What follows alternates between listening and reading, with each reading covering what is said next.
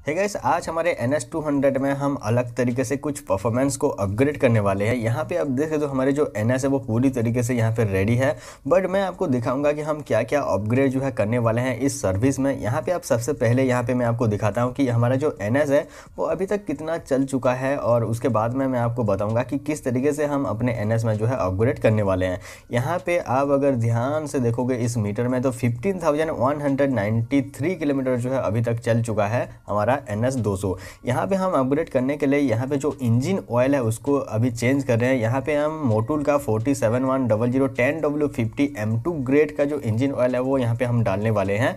और इसी के साथ साथ हम डालने वाले हैं एम थ्री ब्रांड का, नहीं सॉरी थ्री एम ब्रांड का जो ऑयल एडेप्टिव है, उसको। यहाँ पे आप देख सकते हो, ये जो ऑयल एडेप्टिव है, ये 20 एम का है शायद।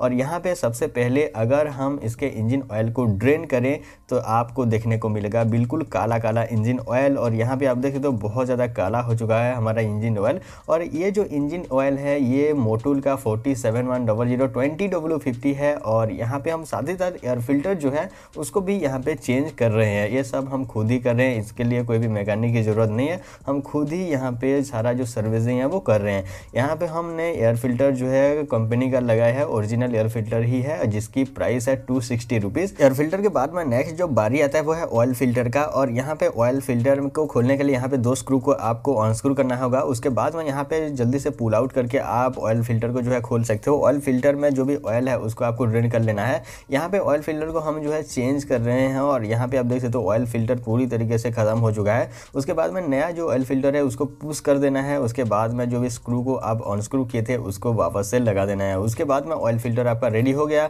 उसके बाद में इंजन का जो भी बोल्ट है, जो कि ड्रेन बोल्ट बोलते हैं, उसको हम अच्छे से यहाँ पे लगा देते हैं। उसके बाद में हम जो है इंजन ऑयल को अभी डालना शुरू करेंगे। यहाँ पे ये कास्टन का बोल्ट होता है तो इसको लगाना थोड़ा सा यहाँ पे दिक्कत होता है। यहाँ पे हम मोटूल का जो ten W fifteen engine oil है, वो एक्चुअली डेढ़ लीटर का आता है और हमारे एन एस टू हंड्रेड में बारह सौ एम एल का इंजन ऑयल जाता है। तो यहाँ पे हम तीन सौ एम एल का जो इंजन ऑयल है, उसको अलग रख रहे हैं। यहाँ पे आप देख सकते हो, इंजन ऑयल का जो कलर है, वो पूरा का पूरा रेड है और ये गाढ़े कलर का रेड है। तो मुझे लगता है काफ़ी अच्छा अपग्रेड होने वाला है हमारे इंजन में। इंजन ऑयल के बाद में हम थ्री एम का जो एडेप्टिव है, उसको यहाँ पे डाल रहे हैं और इसका जो कलर है वो थोड़ा सा गोल्डन टाइप का कलर है और यहाँ पे इसको पूरा का पूरा जो ट्यूब है, उसको पूरा का पूरा यहाँ पे डाल देना है। उसके बाद में आपको मैं दिखाता हूँ कि किस तरीके से बाइक का जो साउंड है, उसमें चेंज वगैरह हुआ है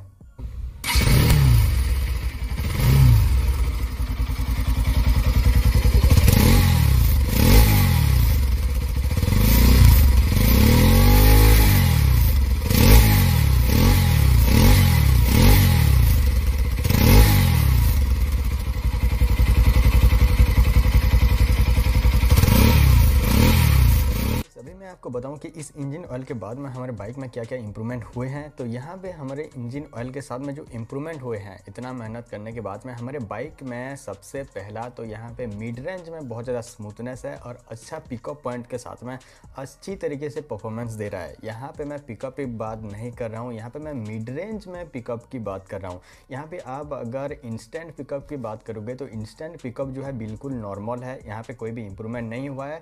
हालाँकि ट्वेंटी जब हम पहले डाले थे तो वहाँ पे पिकअप में बहुत ज़्यादा इंप्रूवमेंट था बट टेन डब्ल्यू फिफ्टी में यहाँ पे पिकअप में थोड़ा सा इंप्रूवमेंट मुझे नहीं लगा बट मिड रेंज में काफ़ी अच्छा इंप्रूवमेंट और यहाँ पे स्मूथनेस जो है आ गया है। बस यही है इंप्रूवमेंट इस इंजन ऑयल के डिफरेंस के साथ में और मैं यहाँ पे और एक वीडियो बनाने वाला हूँ, जहाँ पे मैं टेन डब्ल्यू फिफ्टी और ट्वेंटी डब्ल्यू फिफ्टी का टोटल रिव्यू करने वाला हूँ। आई होप ये जो वीडियो है आपको पसंद आया होगा, फिर भी कोई भी सवाल या फिर सुझाव है तो नीचे कमेंट में उसे पूछ सकते हो। इस इंजन ऑयल को आप बाय करना चाहते हो तो नीचे डिस्क्रिप्शन में उसका लिंक है तो आप चाहो तो वहाँ पर बाय कर सकते हो। आज के लिए बस इतना है guys thank for watching thank you